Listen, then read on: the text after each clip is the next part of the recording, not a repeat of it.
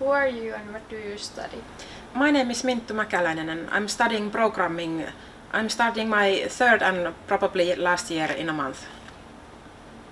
What made you apply for Vimala?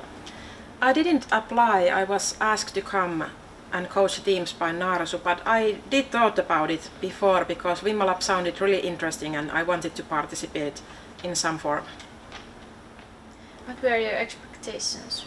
I was really nervous about coming because I wasn't sure if I was the right person for the job. Did your experience meet your expectations? It was really easy to practice project management in an easy environment and after I gained more experience I found myself to be the right choice after all. What do you do in WIMMA Lab?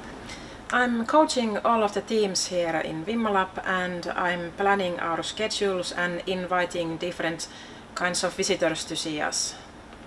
What have you learned in WIMMA Lab? Uh, different forms of communicating and giving feedback and a lot about organizing events and meetings. What kind of assignments would you like to work with in the future? I certainly would be great team leader in some small, smaller project where I could uh, do the job myself and not just watch from a side. If you could work in one team for one day, which one would it be and why?